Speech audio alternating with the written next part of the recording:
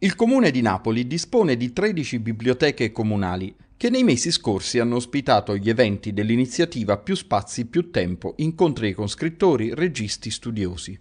Luoghi di riferimento culturale soprattutto per i cittadini più deboli, ma anche di aggregazione e di vita sociale, le biblioteche locali costituiscono un'autentica diga contro l'imbarbarimento, afferma l'esperta Antonella Agnoli, un'indispensabile infrastruttura democratica che accoglie tutti i cittadini e facilita l'accesso al sapere.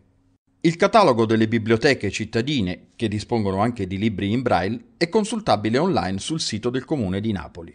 Pensiamo ai ragazzini che passano le loro domeniche andando su e giù come degli zombie nei centri commerciali, a me piacerebbe che passassero le loro domeniche in un luogo dove magari possono anche incontrare anche dei videogiochi, utilizzare i computer per